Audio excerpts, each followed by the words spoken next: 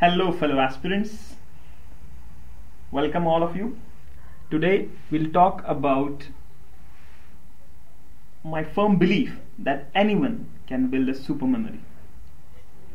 In the next few podcasts, I'll be discussing in detail how anyone can build a super memory with just a few techniques and some practice. This is some information about me as you can see that I've bragged about being able to recall the first 100 digits of pi.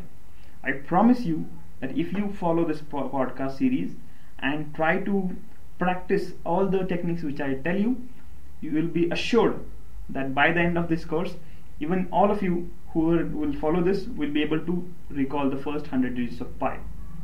And it's just a show exhibition thing. More importantly you can apply these concepts in your studies and it will help you a million times more.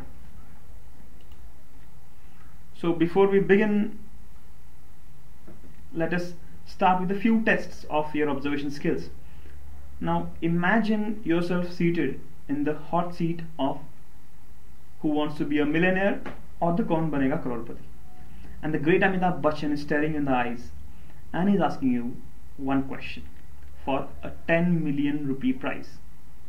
The question is what is the color of the topmost light in a traffic signal? Now take a piece of paper and a pencil and write down the answer. The next question is how is the digit at 6 o'clock position denoted in your wristwatch? Do not look at your wristwatch while answering this. Be honest with yourself and write down the answer. Now you might know the answers, you might not know the answers. This is just to test your observation skills. Now let's move on to the next test. Now here are 20 words which are randomly arranged and these are random words. What I want you to do is take a piece of piece of paper, keep it aside. Observe these words for around 4 minutes or 5 minutes by pausing the video and then minimize the video screen and try to recollect these words in the exact order and write them down. So start. Good. I hope you must have paused the video and written down the words. For every right word, give yourself one mark and tally your score. Now let's get to the second test. This is the recognition of names and faces. Observe this list for around 10 minutes by pausing the video. Try to correlate the face with the name. I hope you have done that.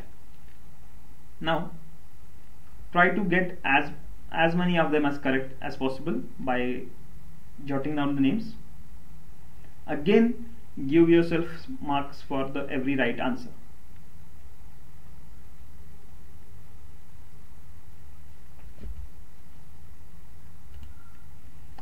So this was the testing part.